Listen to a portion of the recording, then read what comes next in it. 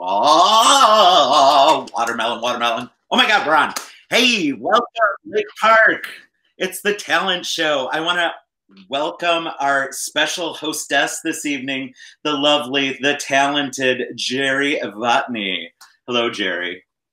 Hello, Seth. How are you this evening? I'm marvelous. How are you? Pretty good, all things considered. Lovely. Are you excited for our talent show this evening?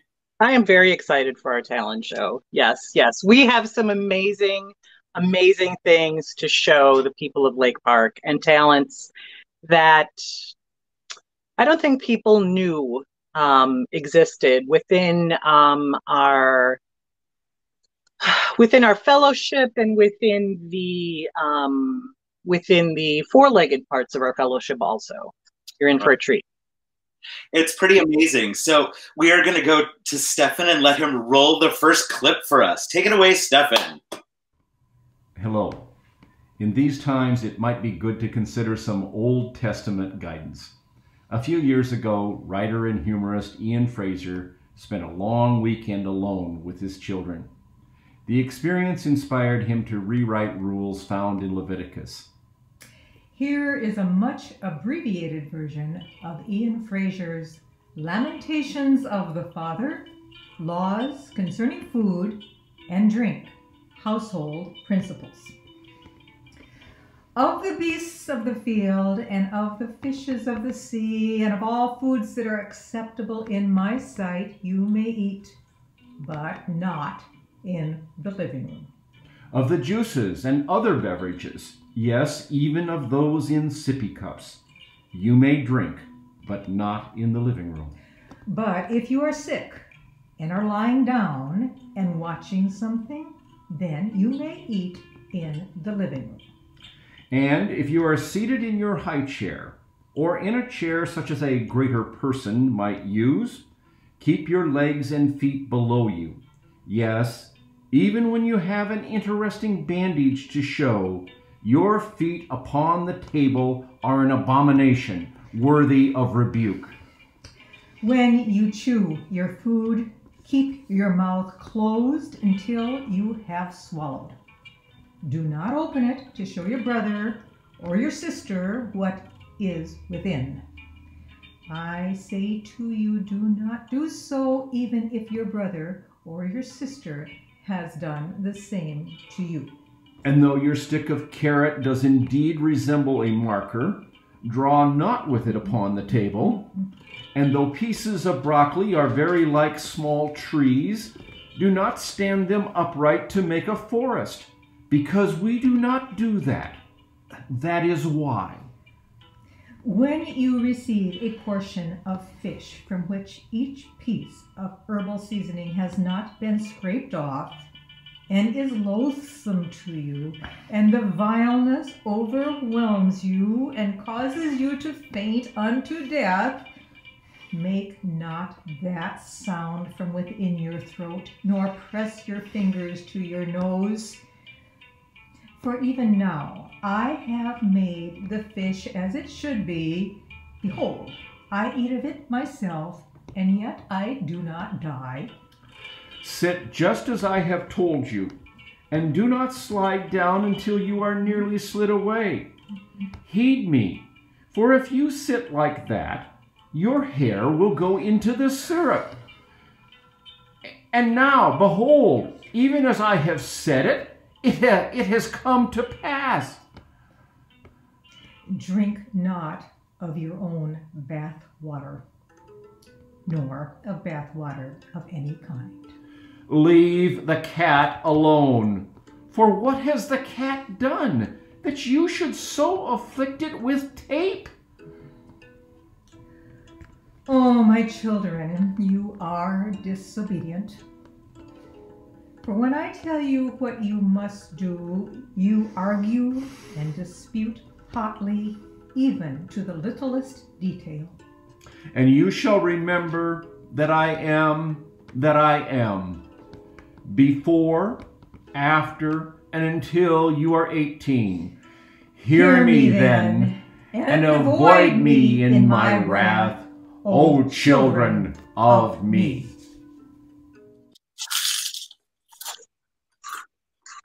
Oh my god. That was great, Max. Oh. Thank you. I've never eaten in the living room. Mm. Sorry about that. We'll try harder to follow your rules. Thank you so much. It was super fun. Hey, Seth, Yeah. did you ever think that broccoli looks kind of like a tree? A tree. It looks like a tree. Yeah, Jerry, open, open. Nah. just like here. Here you go. Here, here. Oh, there you go. Is that good? We may be having more fun than you, but that's okay. our next video. No. I'm gonna climb this tree.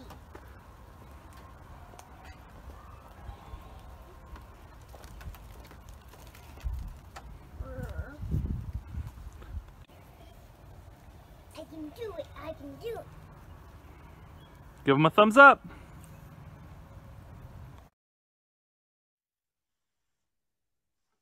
Hey, Boone, I'm climbing a tree too. Woo! Good work, Seth. I know. Although I think Boone did a little better job than you did. That's probably true. Yeah, yeah. Great job, Boone. So now we're going to have Megan Harrington. the lovely, She's going to talented. the lovely, talented Megan Harrington, and she is going to be singing a song from Waitress, which she'll explain to you. Let's turn up the heat. Hi, Lake Park. My name is Megan Harrington. Uh, if you don't already know me, uh, I sing in the choir um, at Lake Park, and I have been on quite a few of the most recent virtual um, choir videos that have been a part of worship. So hopefully you're not sick of hearing me sing yet. Um, but even if you are, hi, here I am at Pastor Alyssa's request, um, filming something for the talent show. Um, this song is from the musical Waitress, which is a newer musical that I'm very obsessed with and know almost every song from. Um, but I'm going to sing a song from it called What Baking Can Do because I feel like a lot of us in quarantine um, are baking because we're bored, myself included. Uh, I know Seth, you've been baking some delicious, gorgeous looking breads, and I still want your strawberry pie recipe, by the way. Um, so yeah, so I'm gonna sing this song called What Baking Can Do, which uh, in the course of the musical is sung by the main character Jenna, and I think it's a really cute, fun song because uh, you can tell she's not just talking about literal baking, she's also talking about how baking can be used um, as a form to of therapy to get out your feelings and express yourself. So this is what baking can do from Waitress the Musical.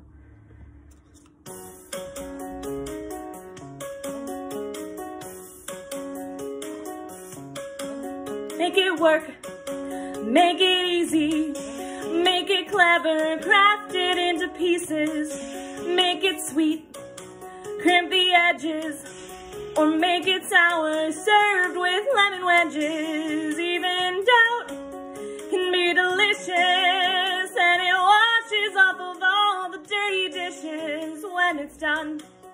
I can smile. It's on someone else's plate for a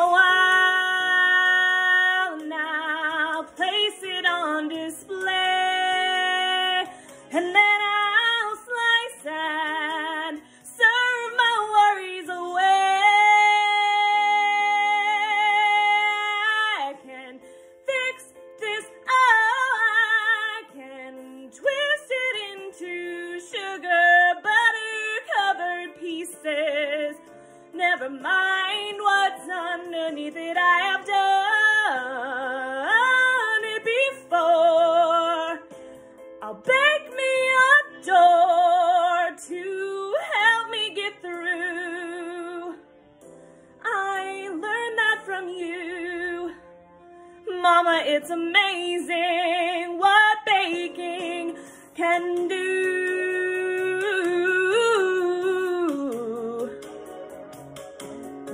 Make it up and surprise them. Tell them all my secrets, but disguise them. So they dance on the tongues of the very people that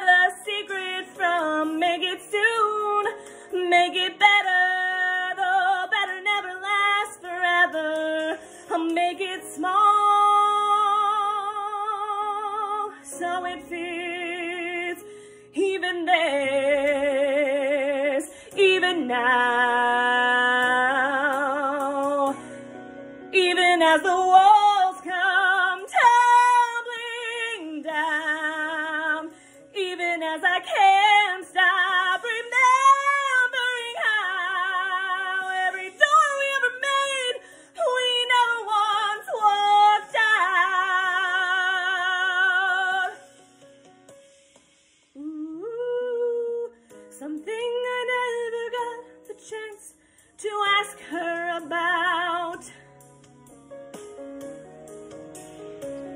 So with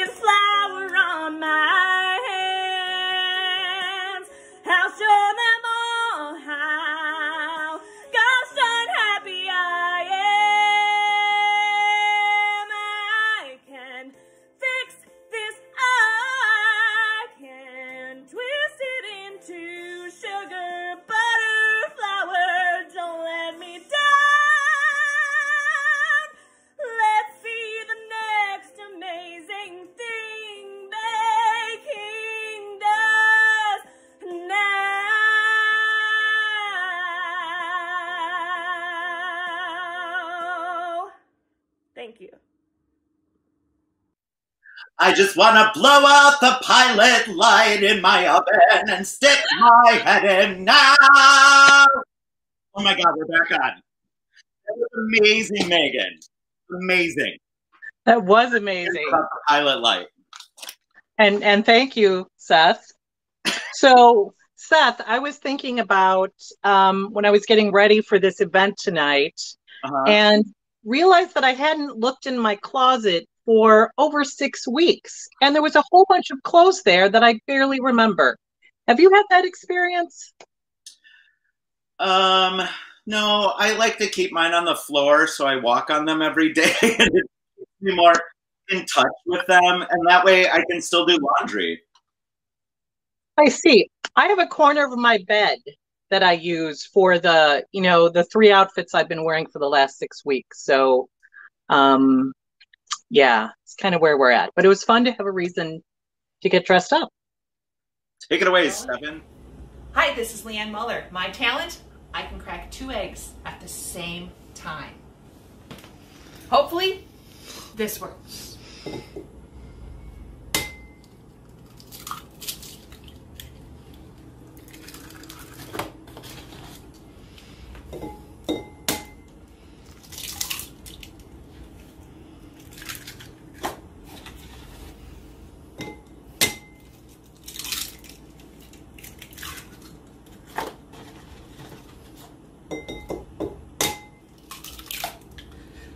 Ta-da!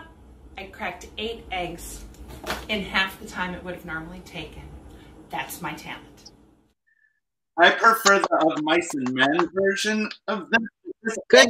really strong. Ah, there we go.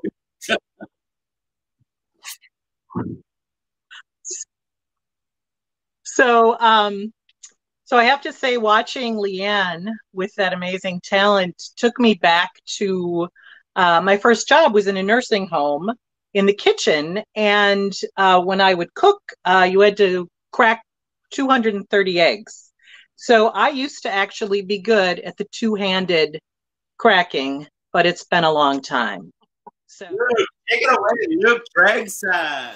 All right, so during my quarantine time, to try to fill some of the boring hours, I decided that I was going to build a dulcimer. Um, I went on a choir trip with Gustavus Choir, um, and one of the ladies that we stayed with, husband built these instruments, and I decided that I was to give it a shot building one. So I built this out of some scrap wood in my garage, um, and it's not really technically an instrument, like formally. It's a mix in between a dulcimer and a strum stick. So it's got a full 16 frets, um, which are mostly. It plays, but it's it's kind of a little invention of my own. So I'm gonna play you guys a little bit of it.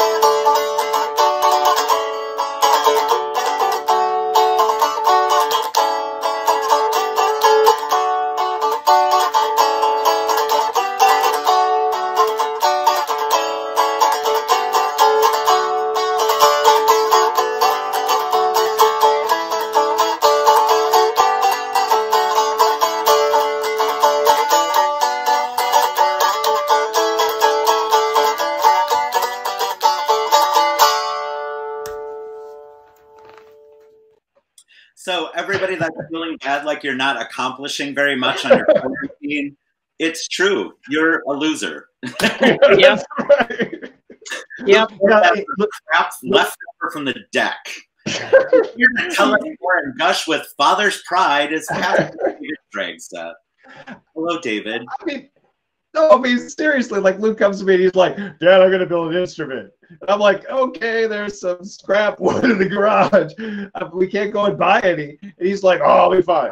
And like, I go out there. Like two days later, the garage is like a complete wreck. But like, he's like actually making an instrument. Like it's crazy. And then I'm like, "Well, how are you gonna fret it? Are you gonna get strings?" He's like, "Whatever." He figures it all out. he's working on a pipe organ for the chapel, like for the other wing of the chapel right now out in the garage. I mean, he'll probably be done next week. Thank Bye. you. Who's our next video? Thanks for coming. Steph. Just off of the two lane where the school bus used to stop.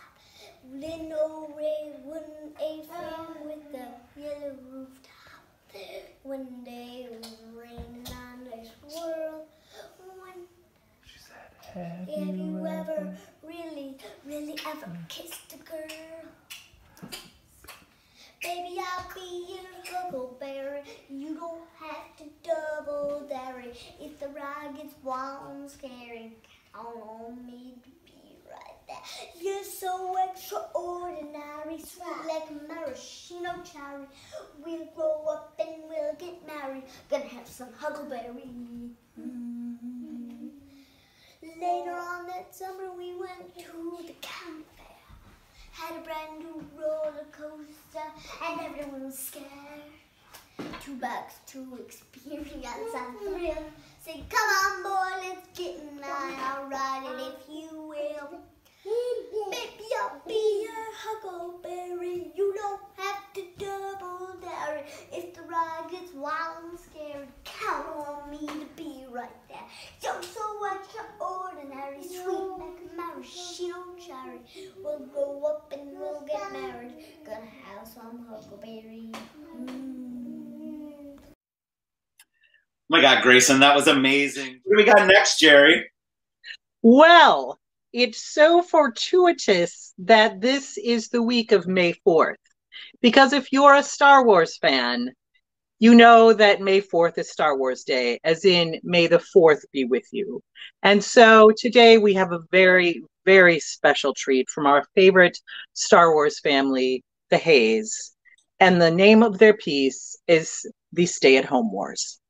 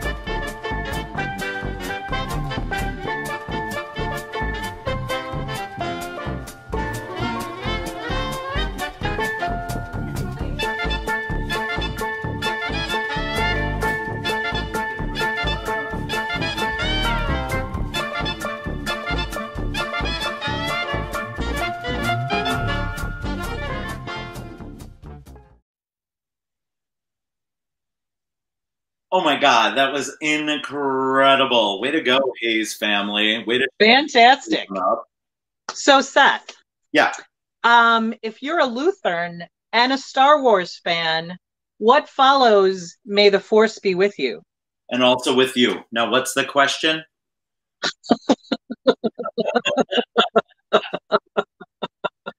I like Park.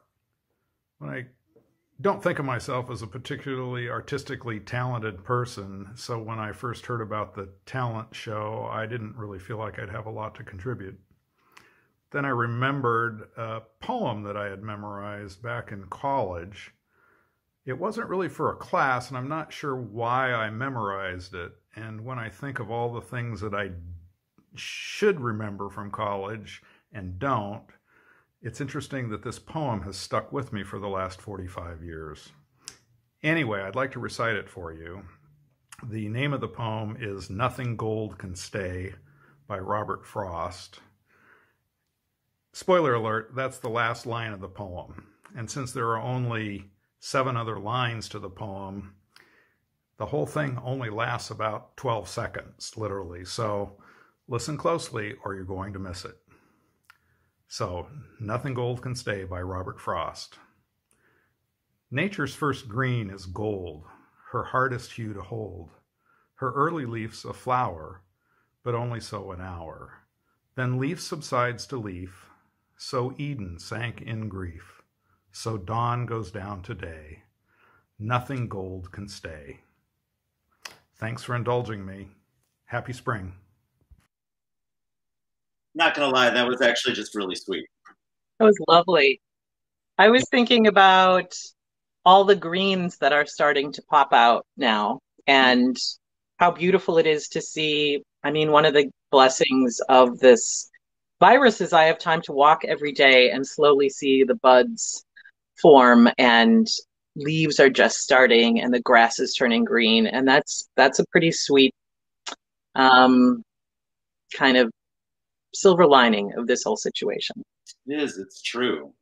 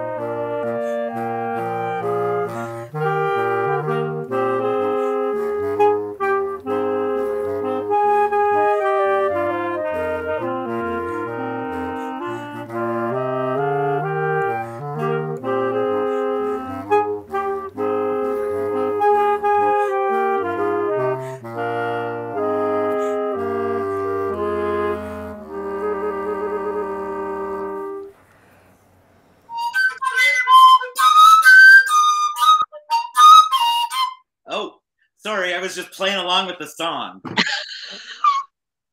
That that was the lovely Erin Vandervist. She sent that to us from New Jersey, and there were multiple types of clarinets there. I don't know enough about them. A bass, an alto, maybe a soprano. Um, just a lovely rendition. So you think of karaoke, Seth, when um, hearing that song, and I think of Boston Red Sox games because I have a sister-in-law who's a crazy Red Sox fan. So that was a great reminder, and I wish there was baseball right now. Who's our next video? Oh my gosh. It's time to watch bread rise. Uh, yeah, we are. We're, uh, what are you, uh, are you making bread, right? Cool. Are you sure that you're supposed to ma- be adding uh, salt? I've only added this much salt. Oh, okay. What does it do in the bread? It makes it rise better in the oven. Oh, cool. That's that's actually really cool. And I'm actually What is what is like this? Uh, how what what what, what batch is this? Like what number batch? um this is our fifth batch I'm pretty sure. Yeah, we've made a lot of bread this this week. This is a sourdough bread and it's the dough right now and we're gonna put it in this oven. This one, yeah, this one is gonna be looks. Voila. And then Voila. there's the bread. Oh, oh, also, dough. we're gonna put in a it's like a where is A it? thingy Yeah, a thing like a like a cast iron skillet sort of thing. that will help it stay in its shape. Yeah, and it's, yeah, it's gonna look super cool. and I'm Well, eating it right now. Yeah, so, uh, oh, shoot, you're not supposed to rip it, I don't think. But anyways, that's all we have time for, so yeah, bye. Jerry, look, they brought it over for us. Here, That's try. perfect. Oh, um, Wrong way. mm, There's Jerry. There's. Jerry. yeah, Ah. give it to the right side here. I, I was a little dizzy after that. How about you? Take it away.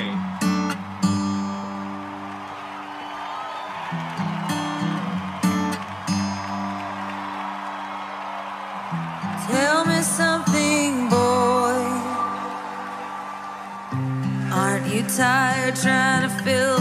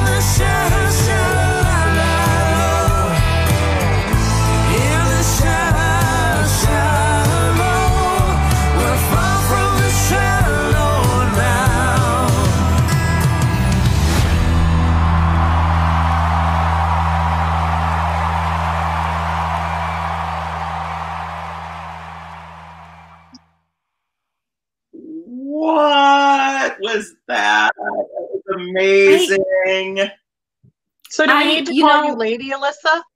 Yes, yes, that's my new name. You can call me Lady. I, I told What them I- I really I thought it stood alone, but they wanted me to come on and talk about it. But so here I am to answer any questions you might have, any concerns. Um, Well, the thing I noticed was how much hair was in that hairbrush. that was a concern, certainly a consideration. The scary thing is that I removed a lot of hair from that hairbrush, thinking, oh gosh, that would be embarrassing if people saw my hairbrush and saw that I never clean it out. So I took out like a lot of hair, and I was hoping you wouldn't be able to see the remains, but I guess that didn't Okay. work. It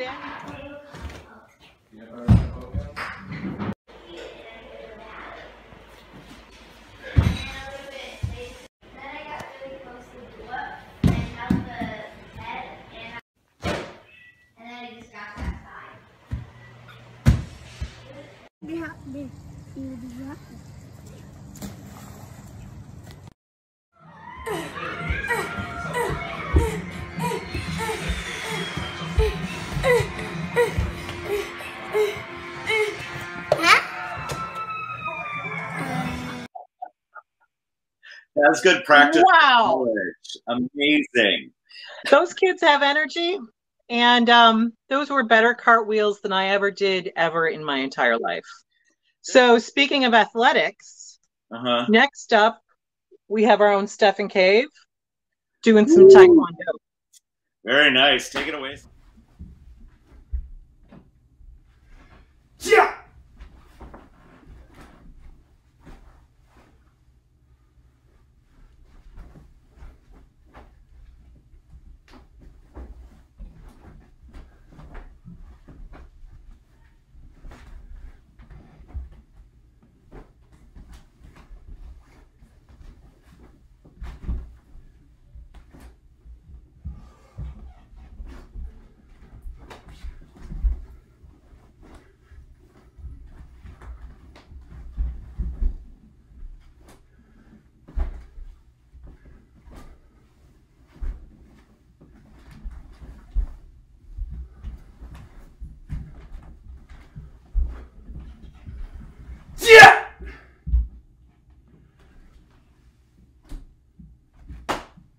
Uh, I don't know if you know this, but this is Stefan's way of maintaining social distancing. So that's an actual six feet. He measured that out before he did his moves to be sure that it was like six feet every way. And if somebody gets too close to him in the grocery store, He throw punches. watch out. Right. he, he is a violent rule adherer. Thank you to our very own caveman. Next up, well, we'll just let you watch. Yeah, something really special you've never seen before.